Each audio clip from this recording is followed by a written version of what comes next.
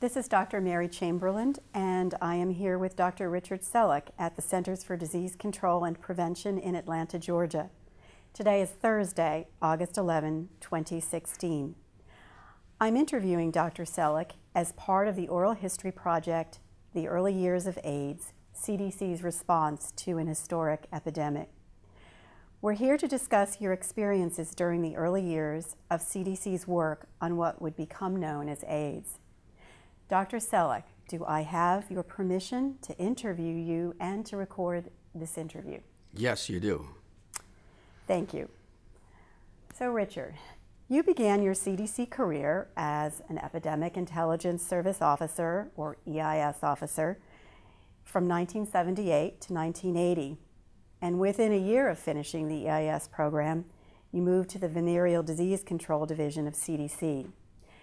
That was just about the time of the initial MMWR report of pneumocystis carinii pneumonia in homosexual men was published in June of 1981. And very soon after that, you began to work on this newly emerging disease, which later became known as AIDS. However, before we talk about AIDS, let's begin by having you tell us a little bit about your background, where you grew up, your early family life, where you went to college and medical school? Yes, well, I was born and grew up in Detroit, Michigan. Um, we eventually moved to the suburbs, but then I, I went to college and medical school at Wayne State University in Detroit. Uh, and, and then I, uh, I, I decided to move to New York City for my internship and residency. Uh, and uh, at the time, I chose to take a residency in obstetrics and gynecology, and that was because I had planned to have a career that would try to do something about uh, the uh, population problem, the, uh, the population explosion, as some people call it, uh, because I, I, became concerned about it at that time. Um, and uh, this was around the time uh, when uh, we had uh, world, the, it was the environmental concern at that time. I, forgot actually what, what it, on April 22nd every year, it, it we celebrate this day of and I forgot the term for it, but it's uh, uh, it, it's concern about the environment mm-hmm, mm-hmm. and ecology, preventing pollution, and as part of that, uh, I had uh, uh, advocated that we should also uh, be concerned about excessive population growth because the population of the Earth of, of people is was in, growing exponentially. Mm-hmm. And so uh, I, I, was, for that reason, I asked experts uh, wh- what would be the best way or what kind of education or training for me to contribute to helping solve this problem. And they said, oh, become an obstetrician and gynecologist and, and go into family planning. Hmm. Well, so I took their advice, but it actually uh, may not have been the best choice for me because temperamentally I, I was not suited to be a surgeon, and I, I didn't like to get up in the middle of the night to deliver babies. And uh, I was more interested in doing something that would um, make a contribution to society at large rather than treating individual patients. Uh, and so uh, I decided after finishing my residency to join the CDC Family Planning Evaluation Division. And uh, there I became an, an EIS officer, mm-hmm. and my uh, uh, supervisor there was Ward Cates, and uh, he was the head of the abortion surveillance branch there and above him was Carl Tyler, the, the head of the uh, Family Planning Evaluation Division, which is now called the Div- Division of uh, Reproductive Health. and uh, so I was there for uh, the two years of my EIS service. Can I just, can we maybe just stop here and let me ask you a few follow-up questions? So, had you had you decided at a fairly young age that you wanted to be a physician? Were was there any particular person or other inspiration for a career Well, in medicine? Uh, I wanted to do science. I wanted to be a scientist. I was interested in that. Uh, growing up, uh, I, I, I was reading science fiction, and uh, so I, I, I thought maybe I would like to be a paleontologist and study dinosaurs or, or, or other kinds of monsters. Um, so, or maybe uh, Did you major in science at uh, in college? Uh, well, I did a pre medical uh, type of um, major. Uh, well, before, well, so let me back up a little bit. So, so I was always interested in science and in, uh, in how science could make a, a contribution to society, and uh, and my my father would say, "Okay, it's fine. You can for, to be a PhD scientist, but if you want to be assured of a steady income stream, you should become a physician. And then, after you get your MD, then you can go be a scientist." And so he influenced me to go to medical school, and uh, so that answers your question of why, in particular, I, I decided to be a, f- uh, a physician or a, get an MD.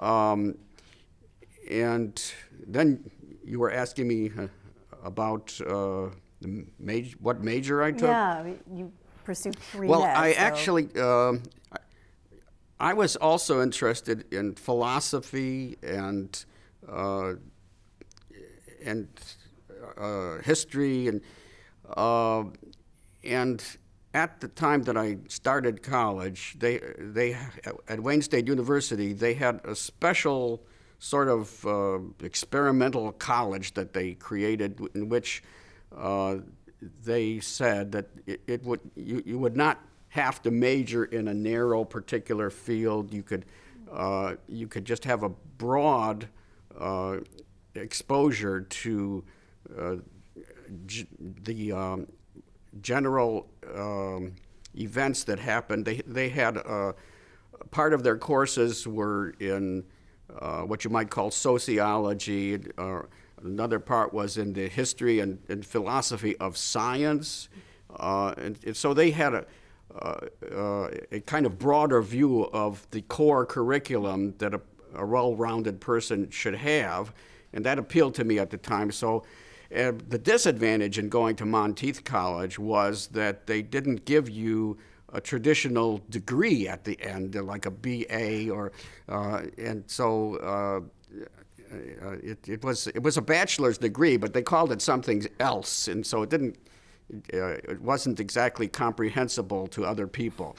Um, and another thing was that even though I had high grades, they didn't qualify for Phi Beta Kappa for some reason because of the, they were a new school that had been untested. So, um, so anyway, so that's I went from there int- into medical school, and then, as I explained, from there into a, a residency in obstetrics and gynecology, which was in New York City because I thought, oh, New York City would be in, more interesting than Detroit. Um, and uh, it, it was, What hospital in New York City? uh, it, it was at the uh, the residency was at the Mount Sinai Hospital. But eventually, uh, I was came became kind of disillusioned with New York City because of the the noise and the and the air pollution with a lot of particulate matter in the air that. Uh, and uh, I was glad to move to Atlanta, to where the air seemed to be cleaner, except for the yellow pine pollen, and and, um, and there were a lot of trees and flowers that it uh, made Atlanta look much more appealing. Uh, and so I worked. So you did your two years in the abortion surveillance That's right. And then I think you uh, did a preventive medicine That's right. residency, so you had another year. There was an extra year um, that year. was, it was still part of the family planning eval, uh, evaluation division uh, sponsored by them, but I worked in the, in a health department at the New Jersey Health Department in the Division of Maternal and Child Health. And after that, I was planning to come back to the Family Planning Evaluation Division. But at that time, uh, President Reagan had come into office, and uh, he was uh, trying to downsize uh, the activities of CDC. And uh, I was told they actually didn't have any positions for me to come back to at the Family Planning Evaluation Division. And that division was also somewhat controversial because uh, being involved with uh, contraception and abortion and things like that, there were members of Congress that didn't like that kind of activity. Um, so, but they told me that uh, the what was called the venereal disease control division may have a, an opening for me, and they fortunately they did. So I thought, well, that seems like it fits my background uh, in uh, obstetrics and gynecology. So I thought, okay, I'll try that. So I was with that uh, division, and actually it was Jim Curran who hired me to join him there. Unfortunately, when I got there, he was no longer going to be my supervisor. Uh, because instead, he, as you know, he be- became uh, in charge of the what was called the uh, task force on Kaposi sarcoma and opportunistic infections. Uh, so, uh, so uh, I had How some. long was it before you got hooked on to the task force? Well, uh, the some of the meetings of the task force were uh, uh, were open to us, and so we, we could hear kind of weekly or at least monthly what was going on there. But for the most part, our activities in the uh, venereal disease, or what we now call the STD division, uh, were completely separate. We, we were uh, looking at um, gonorrhea uh, epidemiology, syphilis epidemiology, but not at what Jim Curran was working on. Uh, and uh, so, and, and the work was interesting, but uh, about six months after our, the, uh, that, uh, the, the task force on Kaposi sarcoma and opportunistic infections, uh, they needed to recruit additional members. So I was volunteered to join them, uh, along with Peter Drotman and several other people who were working for uh, the STD division. And, um, and I, I, right away, I found that a lot more exciting and interesting. Yeah, I was going to ask you um, if you can reflect back. So we're talking about the end of 1981, early 1982. What was the atmosphere like working on the task force? Just as you said, a new uh, mysterious disease. Can you think back about what that was like in terms of your your uh, uh, sense of things and other people that you were working around?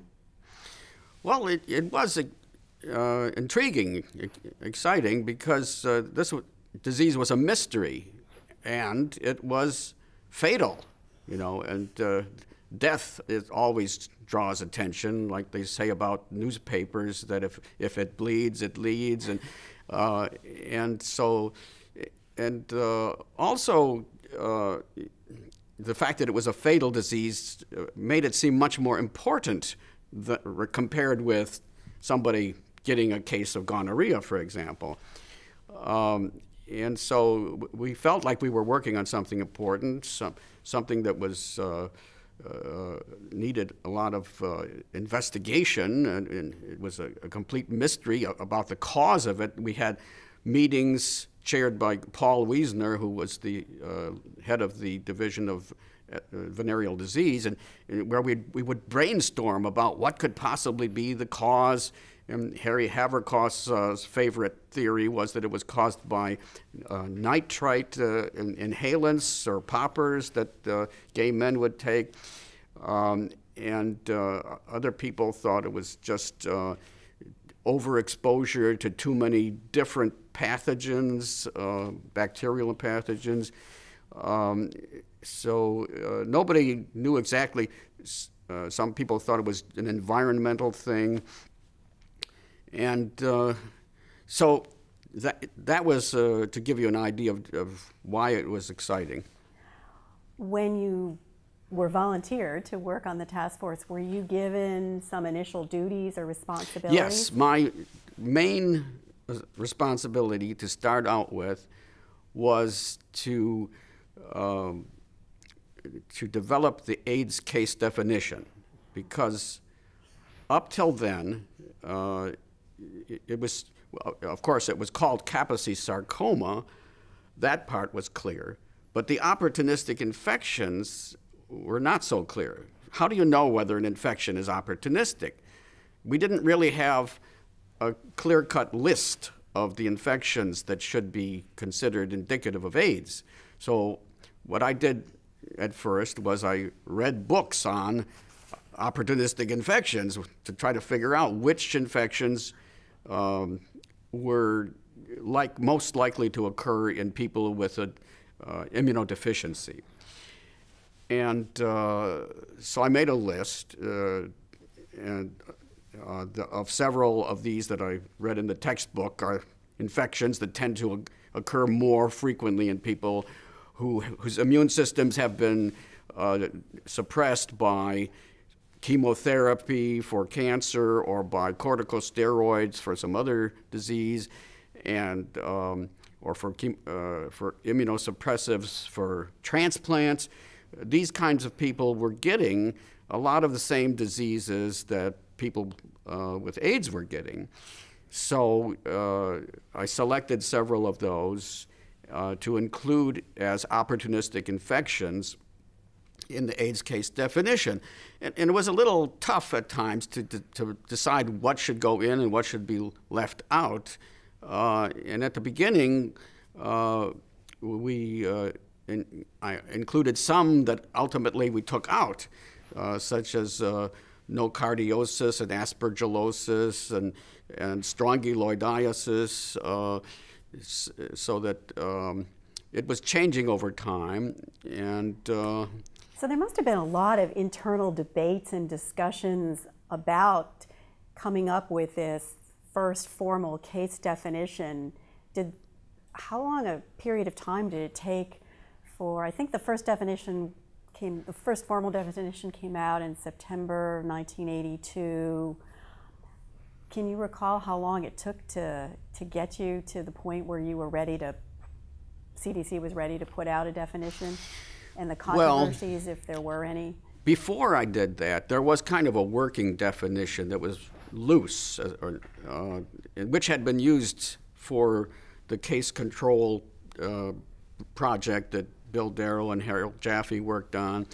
Uh, but so when I tried to formalize the definition, uh, even though we had this formal working definition uh, that I had de designed, uh, we were kind of reluctant to publicize it because Jim Curran felt that if we tell physicians what is not included, then they might not report to us uh, some cases that he thought maybe they should report to us. Uh, and ultimately, it turned out that there were some additional conditions uh, that we learned about that uh, that we added to the case definition. Maybe physicians might not have reported if we had told them what was in and what was out. So, um, so we didn't really publicize uh, the case definition, uh, although in an early article, it, there, a list of the diseases that I included was in a footnote. Mm-hmm. And that particular article uh, was requested. Reprints of it were requested, not because of the, the main body of the text, but just for that footnote. and um, so, but later on, uh, a few years later, uh, at the, around the same time that WHO publicized its case definition, we did publicize uh, the, a full case definition uh, in the uh, in the MMWR. So this is pretty tricky because obviously this is taking place in 1982, well before an, the cause of AIDS, a virus, has been discovered. Right. And uh, my sense is, is is that there was a real interest in developing a case definition that was very specific. That's right. Can you ex- and, first and, of all explain a little bit yeah, about because what we that did not meant know, and why? We did not know the cause uh, of, of, of AIDS. We could only define it in terms of its manifestations, in terms of opportunistic uh, what we called opportunistic illnesses. We, we, wanted to include a few cancers in there as well as infections. So instead of calling it opportunistic infections, we broadened that to say opportunistic illnesses. Uh, and uh, so, but to make sure that it was very specific, we uh, wanted to be sure that each of those opportunistic illnesses was uh, accurately diagnosed. So we, we specified the diagnostic methods for those conditions. Uh, usually they had to be based on uh, a biopsy or, uh, or a, a culture. Um, and uh, so this actually left out what turned out to be a substantial proportion of, of people who had this con- uh, illness whose opportunistic disease was diagnosed in another way, not so specifically, not so accurately, what you might call presumptively. And, uh, uh, but physicians who became more experienced with AIDS cases eventually, increasingly, made presumptive diagnoses for these opportunistic illnesses. So if we didn't want to miss cases, we had to broaden the case definition to include some of these illnesses that were diagnosed presumptively instead of definitively. And that's what we did in one of the revisions of the case definition. So, so in these early days, there's obviously was a, a real trade-off in the sense of, as you just, as you just discussed, you the case definition was meant to be highly specific because you wanted to be as certain as you possibly could that anybody that was reported as a case represented a true case. That there, as you say, very detailed methods of diagnosis at that point in time. No presumptive diagnoses were accepted. Um, and no, and certainly that people didn't have other underlying reasons for their immuno, immunodeficiency. That's right. So that's a, a, good point. Uh, not only did you have to have one of these opportunistic illnesses, you must not have had any other known explanation for an immunodeficiency. But in uh, after the cause, yes, uh, and and this this actually became a, a, a problem because it turned out that non-Hodgkin's lymphoma was one of those opportunistic illnesses, and on the other hand, lymphoma can itself cause immunodeficiency. It can be an explanation for immunodeficiency so I felt that we should not include lymphoma as an AIDS indicator. But other people said, but it's, a, it's occurring with mm-hmm. increased incidence in, in gay men. People who apparently have AIDS, they're getting lymphoma. And so we should make it an AIDS indicator. Uh, so, but fortunately, about that time, the cause of AIDS was discovered to be HIV. And antibody tests for HIV became available. So we, the way we changed the case definition uh, to include some additional conditions like lymphoma was we said, okay, we will count that as an indicator of AIDS, but only if the person has a positive HIV test. Right. And that was also true for the presumptive diagnoses of these opportunistic illnesses. They had to have a positive test for HIV. So the trade-off is, as you've articulated so well is that highly specific, so again, pre discovery of HIV, we're pretty confident that these cases represent true AIDS, although it wasn't exactly called AIDS at the time. Right, and there and, were in fact cases that we that fit our case definition because they had no apparent other explanation mm-hmm. for immunodeficiency, and yet we didn't think they really had AIDS. There, were, for example, mm-hmm. uh, a man who had Kaposi sarcoma. Uh, he was under 65 years old, so he fit the definition. He had no known cause of immunodeficiency, so he was an AIDS case, and yet we knew he really wasn't part of it. And there were other people who uh, were getting opportunistic infections like cryptococcal meningitis. These kinds of infections do cur- occur with a background incidence unrelated to any apparent immunodeficiency, but, but they're kind of rare. And so we knew we were included in our case definition some people who really were not part of it. But the flip side being because it was so specific, it was not a terribly sensitive case definition. Again, this we're talking about these first definitions that were developed in the early 1980s. So, so the case definition obviously didn't capture the true spectrum of what as years evolved, what we knew as HIV related disease. I think That's the right. famous phrase was the case definition was capturing the tip of an iceberg. That's right. In fact, that's what you worked on. Uh, that's right. I the, had a the spectrum of disease the project. Spectrum of disease. Back in back at the time that you were struggling with this first case definition and trying so carefully to come up with this list of credible opportunistic infections, was there a sense already back then that there was a wider spectrum, that there were people that didn't have full-blown AIDS but had milder yes. illnesses?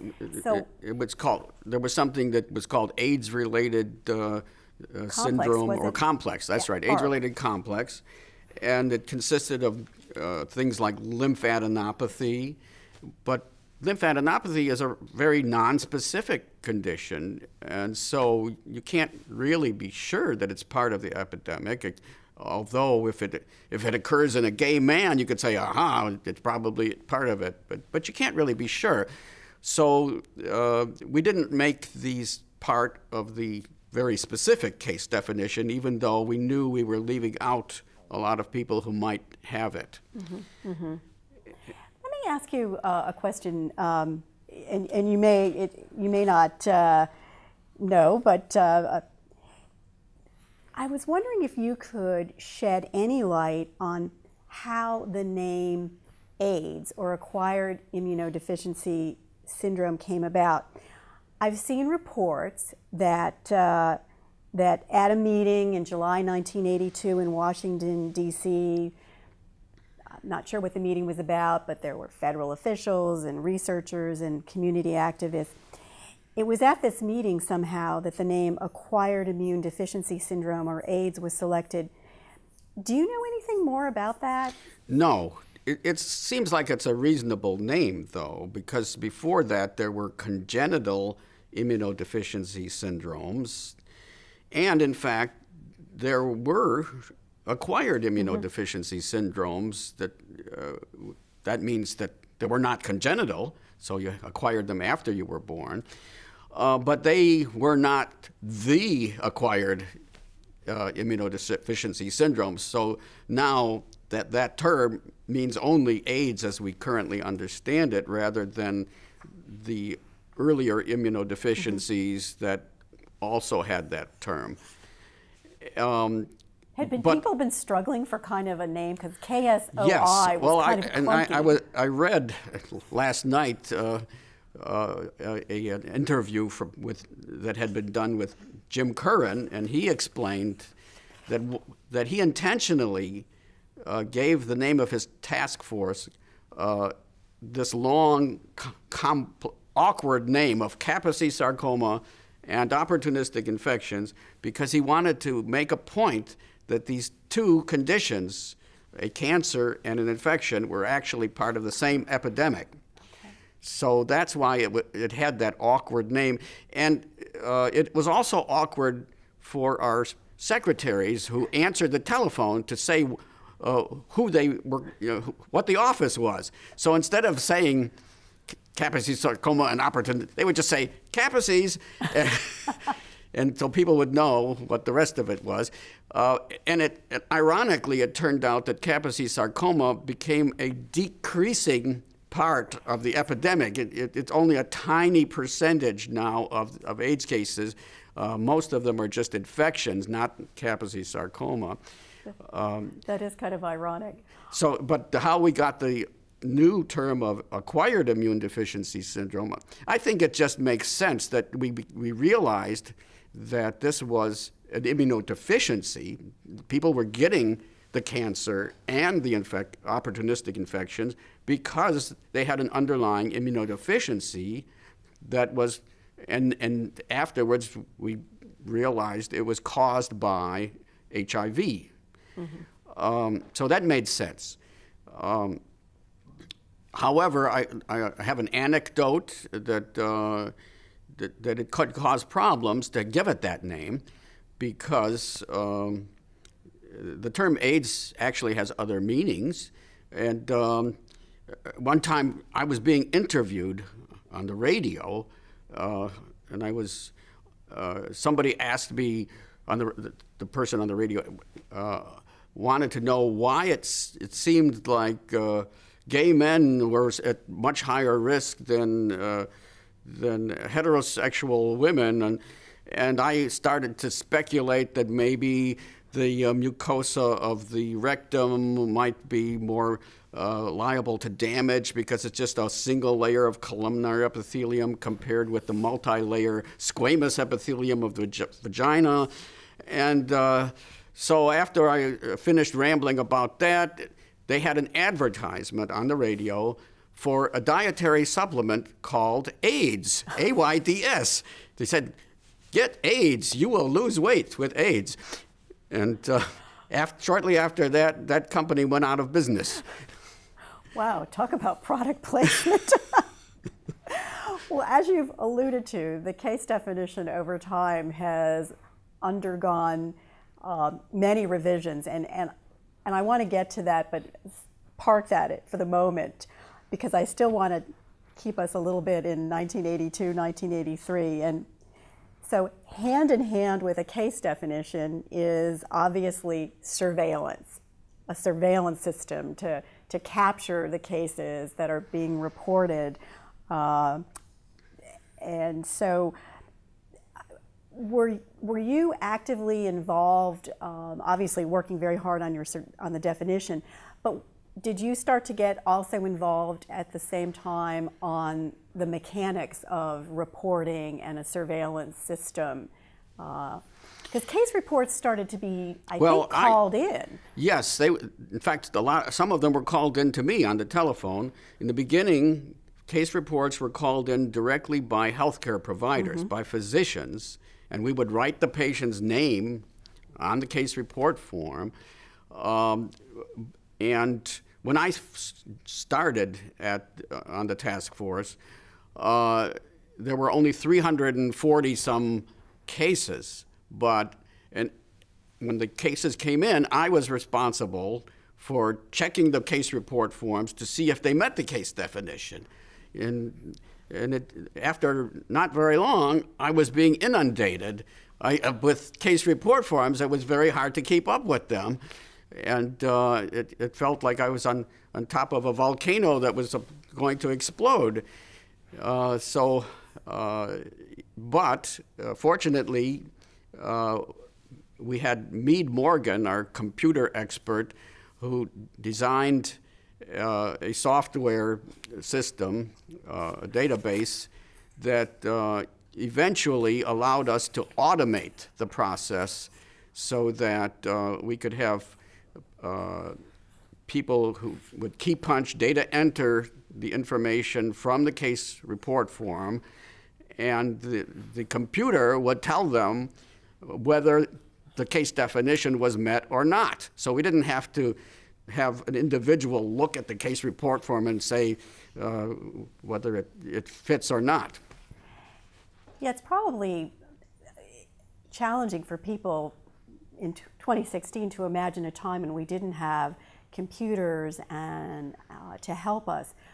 But in 1982, you're dealing with paper forms that initially, as you said, people would phone into Atlanta and you and others would fill out the form and then check them manually to see if they were complete, met the case definition and the like.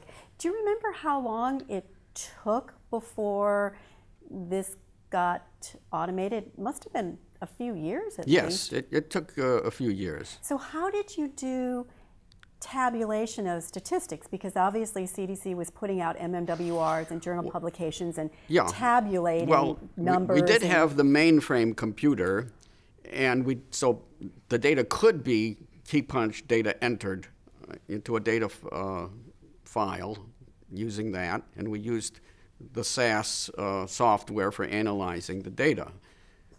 When you came to CDC, when you started to work on the task force, did you have a lot of already computer skills or no. did you have to kind of learn on the job?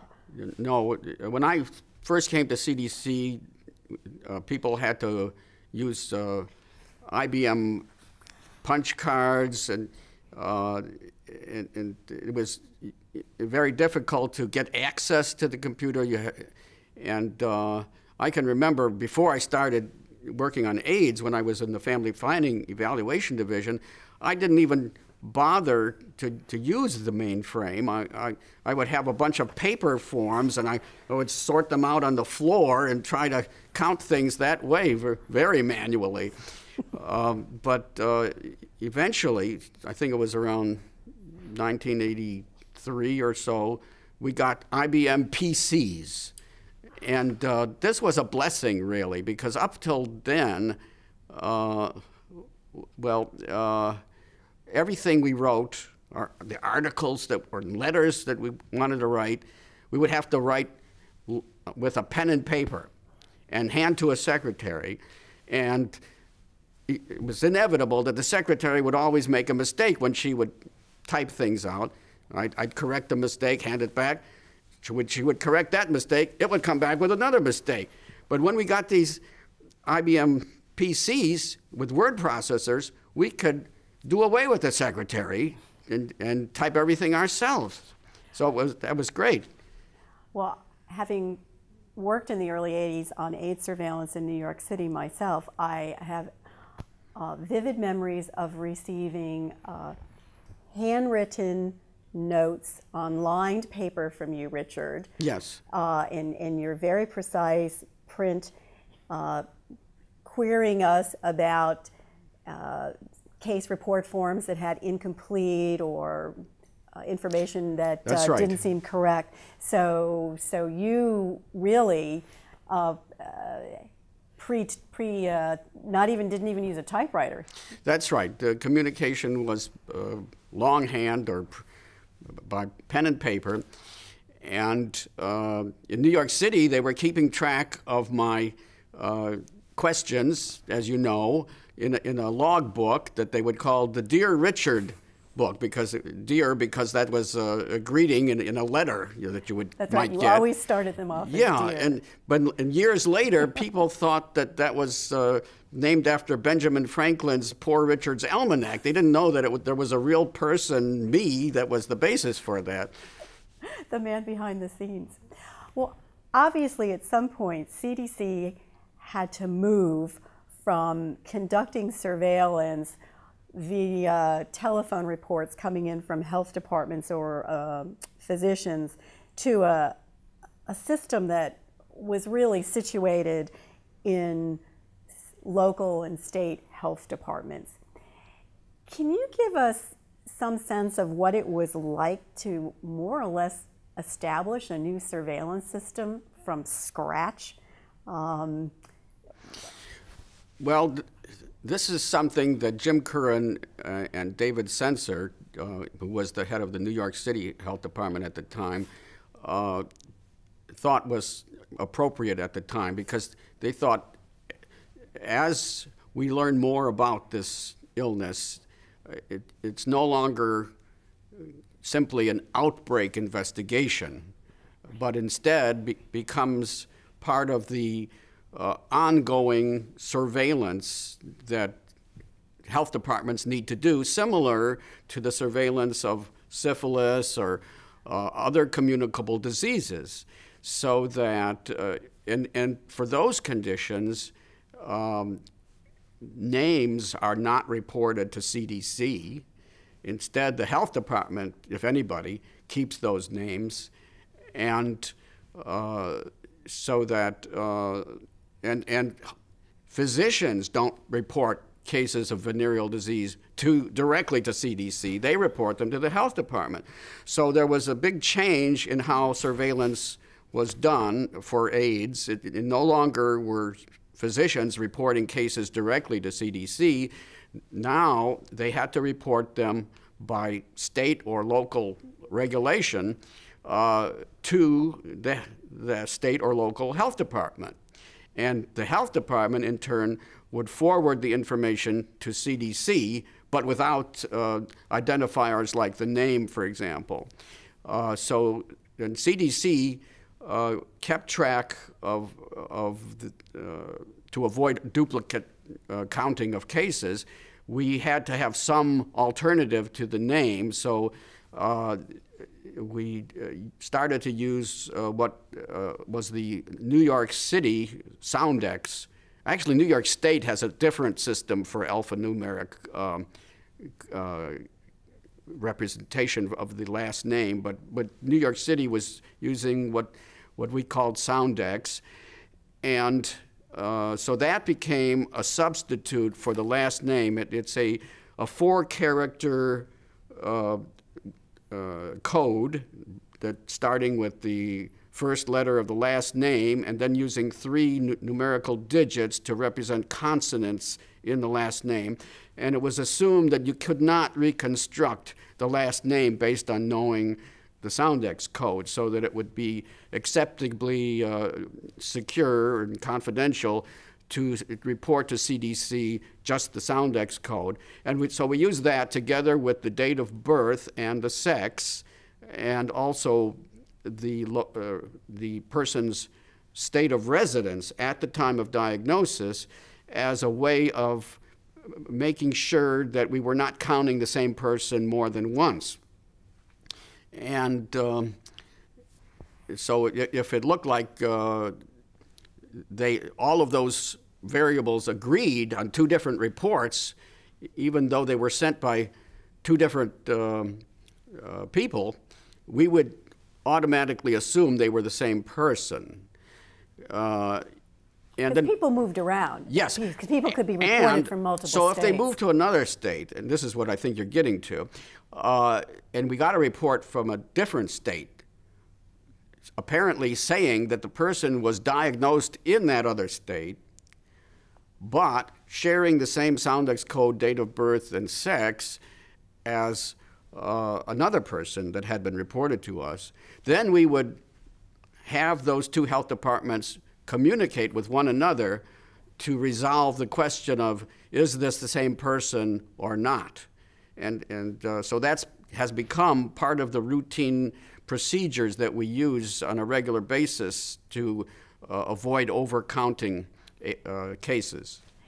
Now, I think an, before Soundex, before the Soundex codes were implemented, there there was a period of time. Correct me if I'm wrong. Where names yes. were sent to CDC. Yes.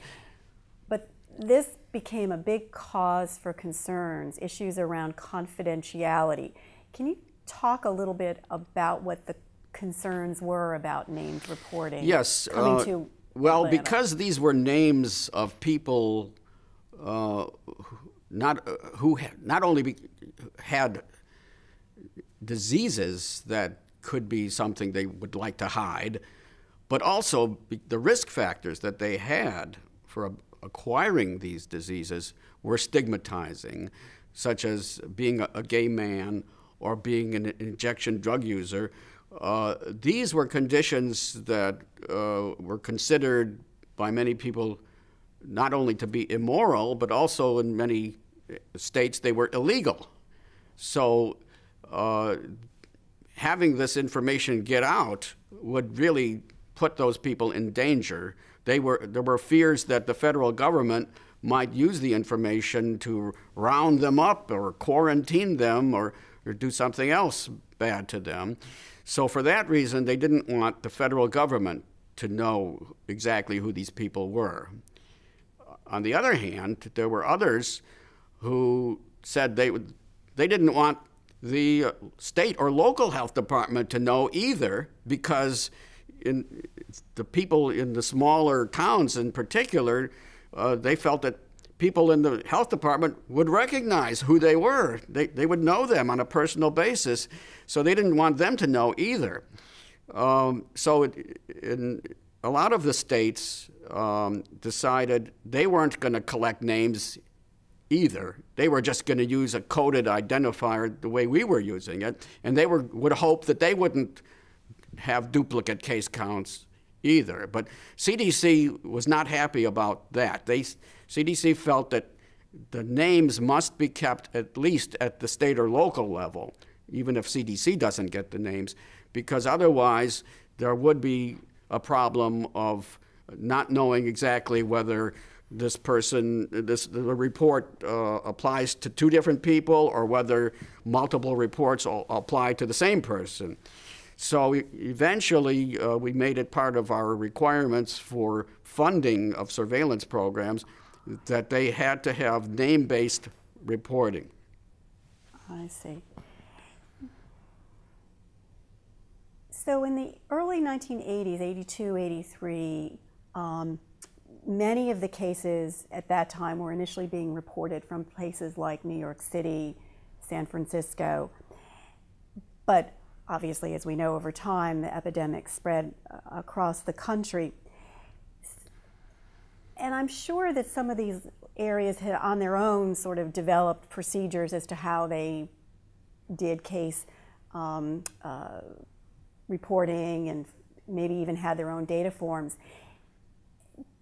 How did CDC try and ensure that there was uniformity, at least, in how states or large cities were conducting surveillance in those early days. Were there, did CDC um, develop manuals or, or guidance procedures? Were there technical training sessions? Yes. Well, not only did we have our formal case definition, but we also had a standard case report form with a list of variables or data elements that uh, the, that the state health departments or local health departments that we were funding were required to collect data on. And uh, to help them do that, uh, to, uh, to help them set up their surveillance program, we also had a written uh, guidance for them on how to do surveillance uh, with suggestions on how they should contact hospitals and and physicians to uh, to search for cases or, or to collect additional information about cases. Um, and uh, for example, one way they could search for cases would be to uh, go to a hospital and ask the medical record librarian to provide them with a list of patients whose discharge diagnoses had uh, codes, international uh, classification of disease codes, or what we call ICD codes, uh, that were for the any of the opportunistic illnesses that might be indicative of AIDS. And eventually, the, there was also an ICD code created for HIV infection itself. Uh, so if, if, it, if that in particular was one of the codes for the discharge diagnosis, then this represented a person that the, uh, the uh, health department surveillance staff needed to be aware of. They needed to check to see if this person had previously been reported to them, and if not, then this represented a, a new case that they needed to investigate and collect data on. So, what you just described, health departments going to hospitals, trying to liaise with medical records departments or potentially physicians, say infectious disease physicians in a hospital. That was what we would call a more active approach to surveillance. Yes. Um, but there's also what we call the passive approach. Um, can you tell us a little bit about the differences between active and passive surveillance? Right. And were health departments doing a little bit of both? Yes. Uh, especially because we wanted to, them to capture cases that uh, might be just uh, scattered here and there at uh, diagnosed at physicians' offices rather than concentrated in a big hospital. Uh, we needed to enable them to have reports, uh, to receive reports passively that would be reported to them by physicians. So these the health departments uh, made regulations or made or they had the state legislature make it a, a state law that physicians had to report AIDS. Eventually, they included HIV infection in the absence of AIDS as well. Um, so physicians were legally required to report these to the health department, and this fact was um, was brought to the attention of physicians at uh, at speeches given at, at meetings of the State Medical Association, for example, uh, or by, or there might be pamphlets mailed to physicians uh, to explain their obligation to report cases uh, to them. So, uh, so these were activities that CDC recommended to health departments that they do to uh, to uh, so to promote uh, what you might call passive surveillance. That means receiving rather than actual, actively searching for uh, reports of cases.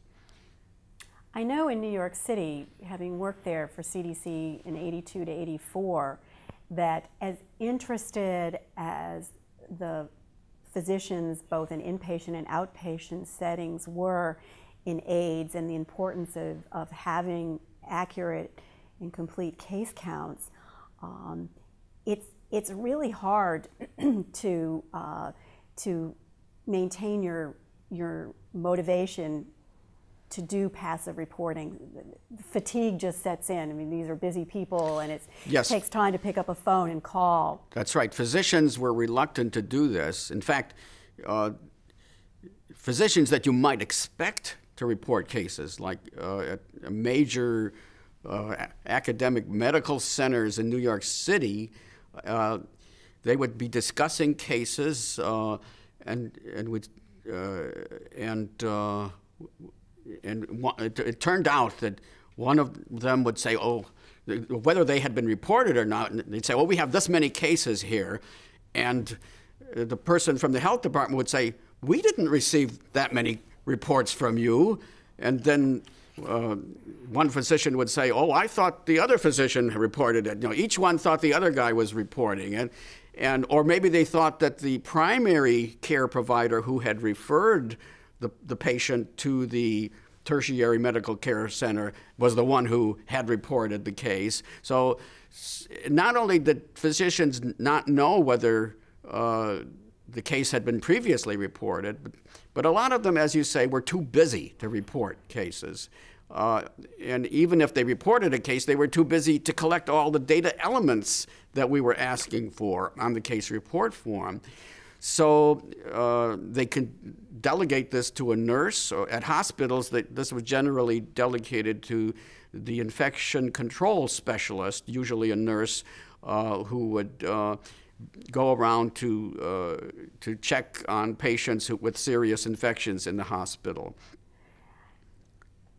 As you know, in New York City, um, because of the very issues that you raise, the health department in early 1983 received the first CDC, what was called Cooperative Agreement Award to implement a system of active base, uh, active hospital-based surveillance in a subset of New York City hospitals.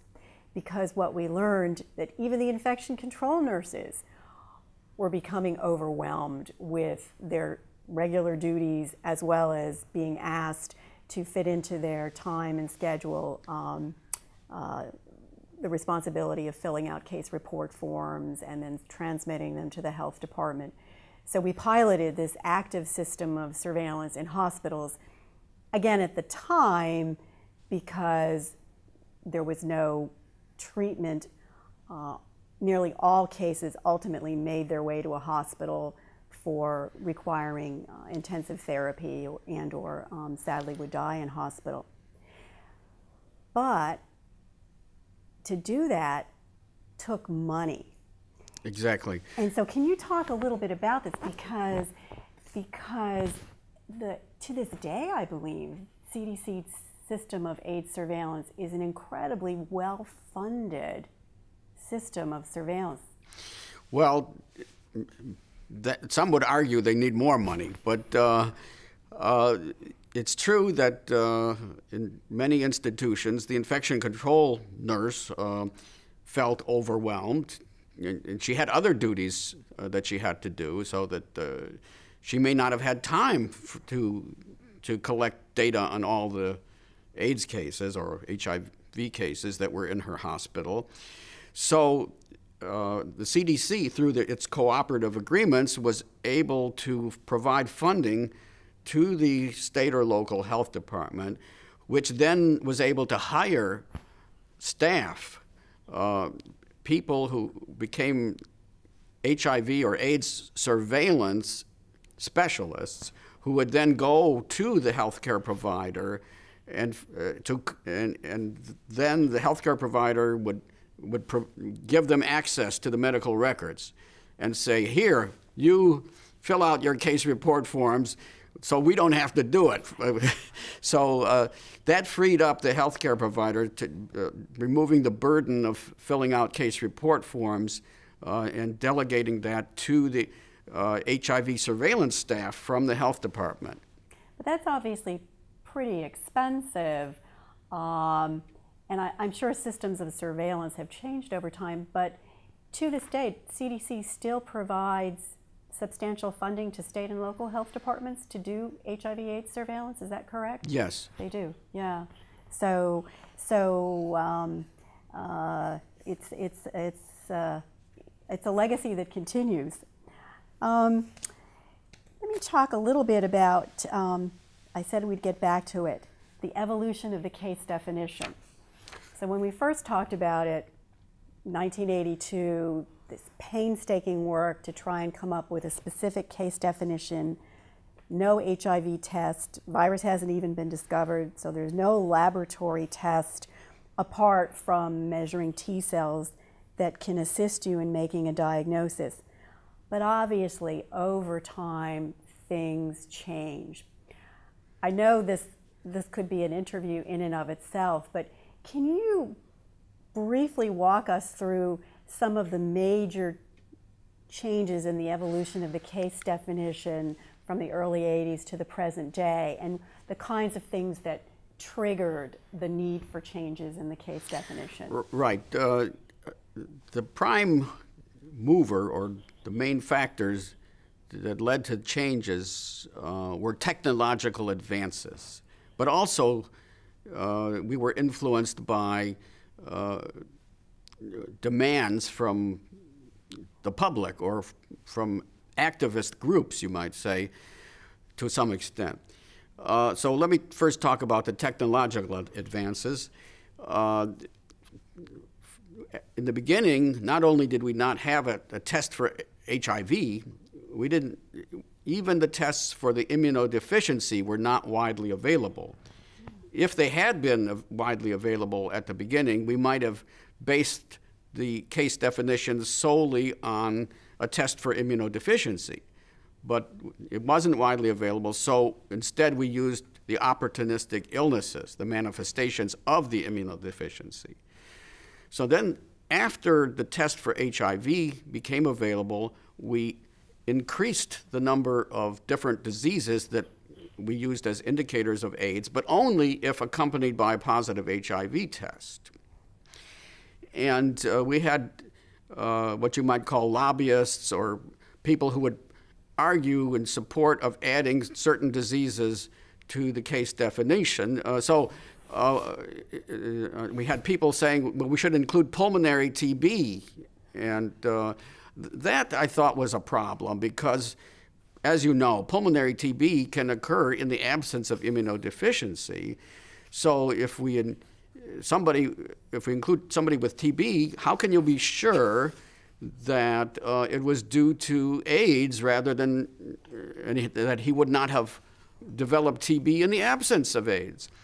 Uh, but this persisted, and articles showed that the incidence of pulmonary TB was several times greater in persons who had uh, HIV infection than among people without HIV infection. So eventually we did include pulmonary TB as part of the case definition.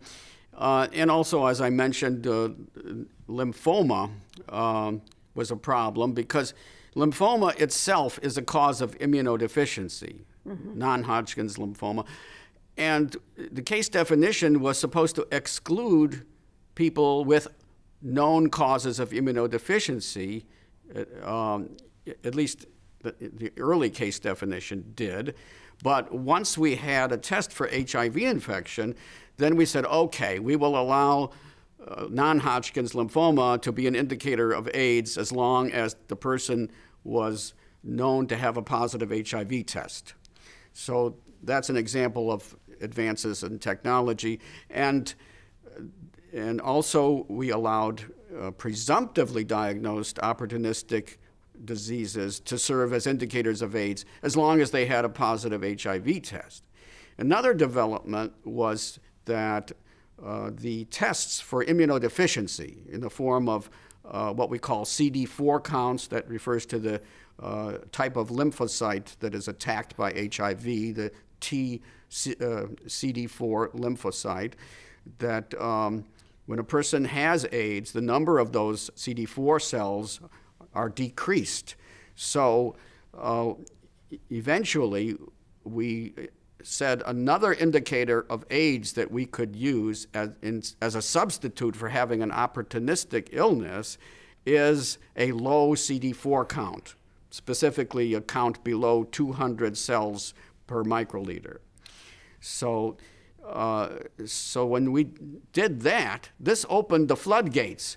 We su suddenly got lots more reports of people with low CD4 counts who now qualified mm-hmm. as having AIDS, and before before they had any opportunistic illness.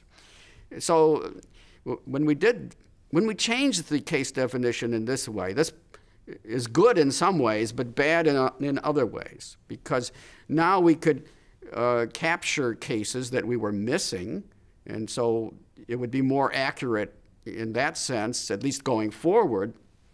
But by expanding the case definition so drastically, it made it more difficult to follow the epidemic trend because the number of cases skyrocketed suddenly when we case when we just because we changed the case definition. So is that because the epidemic is getting worse, or is it just because we changed the definition? Uh, it's hard to tell. So, but uh, so this is changing the case definition like that is not something a person should generally do when you're following an epidemic trend. But but we felt we had to do it in order to capture a, a, larger percentage of the iceberg, as you might call it. That because if you look only at diagnosed opportunistic infections, that's just the tip of the iceberg.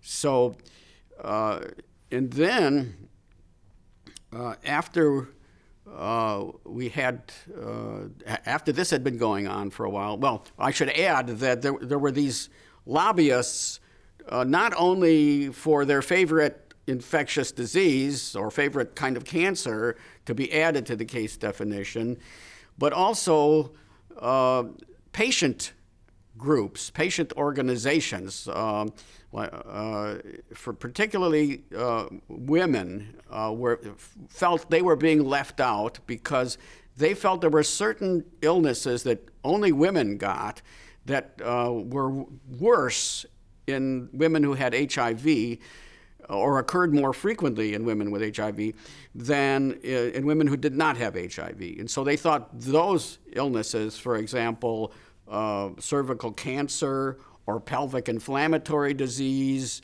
or uh, that they should be added to the case definition. Well, so we uh, we gave in to a certain extent to that. Uh, uh, we, we added invasive cervical cancer. Um, and that in itself was somewhat controversial because there was some skepticism of whether that was really due to HIV, because in Africa, where the epidemic was severe, nobody had noticed an increase in the incidence of cervical cancer at that time. So that made it seem unlikely that it was causing cervical cancer.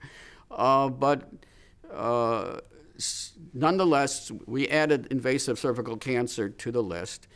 And even though we had done that, for some reason, uh, in the uh, WHO's uh, list of conditions that they would count as indicative of AIDS um, and, and, deserve uh, an, an, ICD, International Classification of, of Diseases, uh, code number for uh, HIV infection, uh, they did not include cervical cancer. I don't know why. I think maybe now they should change it to include it. But um, so we, we uh, but we did not include pelvic inflammatory disease uh, or cervical dysplasia, which is an earlier form of cervical cancer, because we felt those were too nonspecific. And, they, and we wanted the case definition to be relatively specific. Uh, so I, I, think, does that answer your question? Yeah, so if I re recall correctly, the, the shift to um, include as cases of AIDS persons who had CD4 T lymphocyte counts less than 200 came in about 1993. And there was, uh, I think the last revision just occurred a couple years ago, 2014. Yes. And that was based on, I think, new diagnostic tests. The diagnostic tests have gotten better and the need not to have confirmatory Western blot tests? Well, um, uh, I don't think the case definition necessarily specified which type. Maybe it did. I forget uh, whether it had to be a Western blot or not. Uh, the problem was that, um, yeah, uh, that the way I think we said it had to be a confirmatory test. Correct. Okay, that's right. And, and, at the time, Western blot was the confirmatory test. Uh, but the problem recently has been that the Western blot was being replaced with a kind of test that is not always used only as a confirmatory test. It could also be the initial test. So we couldn't tell whether it was being used as an initial test or a confirmatory test, and we felt you needed to have two tests, an initial test and a confirmatory test, to be sure that the person had HIV infection. And so with these new tests, we said, okay, well, now we're changing the case definition, so you at least have to have two different antibody tests, not not simply a confirmatory test because we don't, we don't know whether that test was actually being used as a confirmatory test. So that was the, I think, the main change. So lots of changes over time. What's generally the process that you go through to change a case definition? It sounds pretty It used arduous. to be very simple and easy. We'd do it you know, back in the early 80s, we'd say, we'll just make this change and, and do it. and, but afterwards, uh, uh, we had to go through some kind of clearance process and, and we had to uh, have a, a national meeting. Uh, yes, where uh, experts from around the country would come and, and give their opinions about whether a certain change should be made in the case definition. So it was almost like passing an act of Congress. Do you pilot test in any sort of way before you do a full rollout of a new case definition? Is it possible to even do that? Uh, to some extent, uh, we try to do that uh, based on data that have already been reported to us, but in other ways, no, it isn't possible. Now, you, you mentioned this, and I was wondering if uh, you could elaborate a little bit more. Obviously, these changes impacted the ability to follow trends in disease and mortality. Through modeling and whatever, are there ways to try and now still get a sense of trending? Are we going up, down, staying the same? Well, modeling is not my expertise. I'm, I'm not sure how uh, this it is done. It's mm-hmm. a, you, you, need a, a, statistician who's an expert in modeling to give you the details in that. But yes, we did a lot of modeling. There's something we called back calculation that was used uh, to uh, to examine the numbers of AIDS cases, and on the basis of those, to calculate backwards the number of, or, or not only the number, but when the person who, who had, who's a, had an AIDS diagnosis on a particular date, when they had uh, HIV infection, when they first became infected. Uh, so that way we, we would get a better uh, idea of when the HIV infections were occurring, if you believe the model.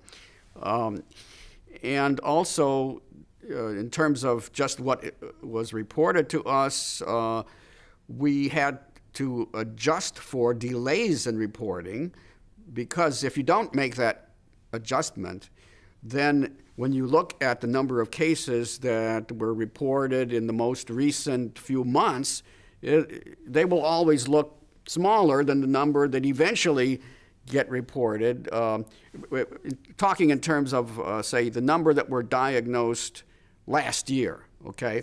So uh, a lot of those cases that were diagnosed in the last year are still being reported this year.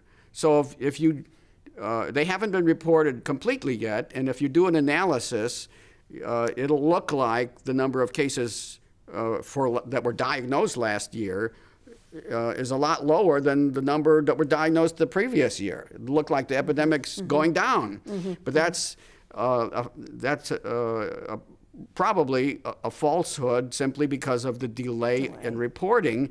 So we used a statistical adjustment based on the the rates at which, uh, looking at the interval between. Um, the diagnosis date and the report date that as it had been for the preceding five years to anticipate what that delay would be for last year or uh, in the future. And with using that, we come up with a, a, a, statistical weight that we applied to the numbers that to uh, adjust them upwards so that they would estimate the number that eventually uh, would be reported for uh, that had been diagnosed on a particular year. And of course, I'm, there are now also um, other ways to monitor the epidemic apart from counting cases of AIDS because there's seroprevalence surveys and things like that that can help us well, get a sense of yes now status. before i get into seroprevalence let me also say that recently and i don't completely understand the reasons for it there has been a decision made not to adjust for reporting delay.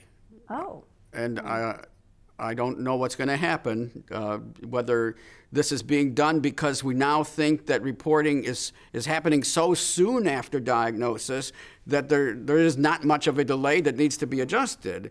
Or it may be that politicians just don't uh, trust adjustments. They think maybe we're uh, faking the numbers or something. I, am not sure. Uh, but um, we'll see what happens in the future because the next report that comes out will not have that adjustment for reporting delay. Uh, now, regarding the seroprevalence studies, these were done um, in uh, sentinel populations. Uh, at various hospitals were selected to sample uh, blood specimens that were routinely drawn in all their patients to see what percentage of them were, were positive for HIV.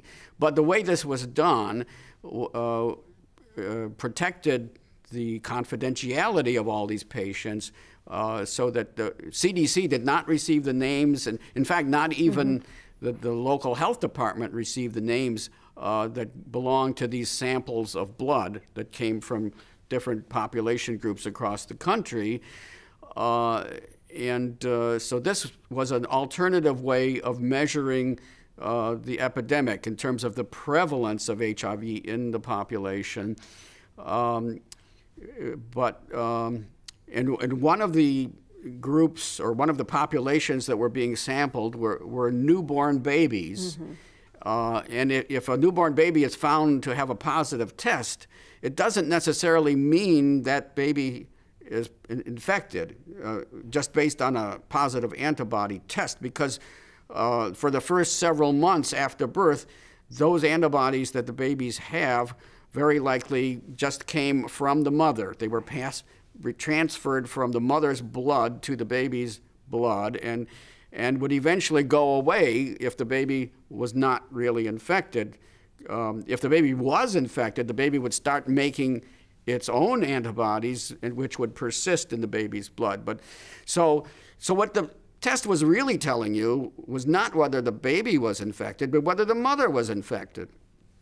And so there were some confidentiality issues. Again, the, uh, it, it, was felt that, well, we shouldn't, for the seroprevalence study, where we're not collecting the name of the mother or the baby, we're just trying to measure the prevalence in the population. And there was a, an objection to this because some politician in New York City, I think it was, complained that it didn't seem right to have information that could tell the mother that she was infected, uh, that then she could do something about that infection. Uh, and so uh, she was about to do something in, in, in, terms of legislation to prohibit this. And, and Jim Curran uh, preempted this by saying, okay, we're going to discontinue uh, the, that kind of seroprevalence study. Now we're only going to have name based uh, testing so we'll know who that mother is and she can get the proper intervention to she can get treated the baby mm -hmm, can get mm -hmm, treated mm -hmm and uh, so that they can be handled uh, properly. Uh, but the, the, problem, though, is that even though there was a law passed to mandate newborn HIV testing in New York, that kind of law did not exist in all the other states. So we lost all that information on the newborns from the other states, and those newborns were not gaining any benefit from they weren't being tested. Tested, right. Yes. So it's fine to do testing in a way that would tell the individual whether they're infected and give that individual uh, treatment, but I think that should go in parallel with uh, having an uh, anonymous uh, random sampling that is not based on where you don't know the name of the person. Mm -hmm just to have accurate measurement of the prevalence in the population. Because if, if you insist on having the name, then it has to be voluntary. That's you right. have to ask right. the per patient's permission to be tested. Right. And a lot of the patients would might say, no, thank you, I don't want to be mm -hmm. tested. And then you wouldn't be able to get an accurate measurement of the prevalence. Right. So from, so from a sort of pure statistical lens, uh, obviously the, the doing it in an anonymous way gives you better data, but obviously not possible to do. Uh, so, well, Richard, I am I correct in thinking that you're the only person currently working in CDC's AIDS uh, activities that's been there essentially from the very beginning? Well, again, I joined in 82, and the beginning was yeah. in 81, but that's pretty close to the beginning. To and what do you attribute your staying power? Well, well, now Harold Jaffe is still there, but not, but not actually working in AIDS. I mean, right. I think of you as being yeah. the the reference point for for all of us that you've have been associated with very directly the AIDS program or division as the name changed over time since 1982. I don't think there's anybody else that's been affiliated with the program directly uh, as long as you have. Right. Well, the work is still interesting to me. Mm-hmm. It's, it's not as though it's that it, mm-hmm. it has stayed the same. And in fact, things keep changing all the time. The technology advances, mm-hmm. there are new challenges, and uh, so it, it, remains interesting to me. And uh, I'm, I'm, still learning things from it. Uh, so, so that uh, you might say is the carrot that kept me there. And the stick might be that I, I might not have felt comfortable doing something else that I didn't know anything about. But because I, I feel like I do at least know something about this area.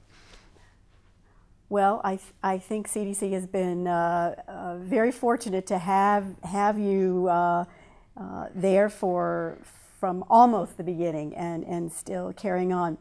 Um, any closing thoughts before we end our conversation? Things looking back almost 35 years, things that. Well, I wanted to say that uh, it's been amazing how uh, HIV surveillance has taken advantage of advances in technology. Many of these adv- advances seem to have become available fortuitously just in, when they were needed. For example, and, and, I'm talking not just about surveillance, but about uh, the scientific investigations of HIV. For example, uh, it, the science of retrovirology was developed just around the time that AIDS was discovered. So it, it was there in the nick of time. And uh, there were advances in uh, storage of massive amounts of data on computers that became available sort of just in the nick of time. Um, and in terms of, uh, uh, well, medications, uh, people have, NIH uh, has found drugs that, that were effective. Uh, so a lot of these advances uh, were made because people actively searched for new, uh, new things they could use for HIV and also, uh, also using old things in a new way. For mm-hmm. example, AZT used to be a drug for cancer, but it was found that it could also be useful for fighting HIV. Uh, so it's just uh, impressive how uh, technology has uh, changed over time and how HIV uh, science and surveillance has made use of it. Um, also, uh, in, in record linkage, I mean, uh, sort of computer processes, uh, co this includes uh, databases like the National Death Index, for example, which started in 1979, again, just around the time of the AIDS epidemic. We are now conducting record linkage with the National Death Index to find deaths of people in the case registries uh, mm-hmm. uh, who have uh, who had HIV uh, infection, so we can keep track of this. And we're also doing record linkages with the Social Security Death Master File, although that, that's somewhat less informative uh, to, to capture deaths that uh, might be missed from the National Death Index. So, and the ability to conduct record linkages itself uh, is only recent uh, in, in, in, terms of massive numbers because uh, record linkage software uh, was developed only in the last 20 or 30 years. Oh, really? And it has been very expensive, for prohibitively expensive, until CDC developed its own version of record linkage software. Uh, it actually was through it was sponsored by the Cancer surveillance branch. Um, and uh, so we have borrowed that software to use in HIV surveillance. So we use it uh, to conduct the linkages not, not only with the Social Security Death Master file, uh, but, I mean, and this is done not by CDC, by the way, because uh, we don't get the names of people. It is done by the state health departments. Okay. Uh, so we, we, tell, we provide this record linkage software uh, to the state health department so they can l- do the linkages not only with the death files, but also with um, other databases uh, where they might find cases like, like uh, the Ryan White Healthcare uh, uh, or clinic databases, so they can search for cases and can and, and find information about uh, laboratory test results that way. So record linkage has been a great advance. Um, so I guess that's one thing I wanted to say uh, that, that we, we've things have changed drastically over time. Um, and uh, another thing is that people's attitudes toward uh, the toward persons infected with HIV have changed drastically over time. As, as you know, that uh, at least in the minds of some people, um, uh, the perception of gay people has changed. Uh, they uh, have come more out of the closet, and uh, they are have become. Uh, uh, they've been consultants to CDC. They're even uh, my, some of my coworkers are, are openly gay, and and so the the perception and attitude, as everyone knows, in, in terms of the federal government's, uh, uh, has changed drastically uh, uh, to uh, to look more favorably on gay people and and be, and be more accepting of them. Um, and uh, well, I think I'll stop there. Well, as you've highlighted, uh, with an epidemic that's now nearly 35 years uh, and counting, uh, there's been a lot of changes running in parallel with that, uh, be they technologically or uh, sociologically, um, politically, whatever. It's it's been an interesting time, and you've had a you've had a ringside seat, Richard. Well, thank you so much for sharing um, your. Um, uh, history with us and, and shedding a, a light on uh, the surveillance activities that uh, CDC has been engaged in, and um, uh, wish you another 35 years. All right, thank you. Thank you.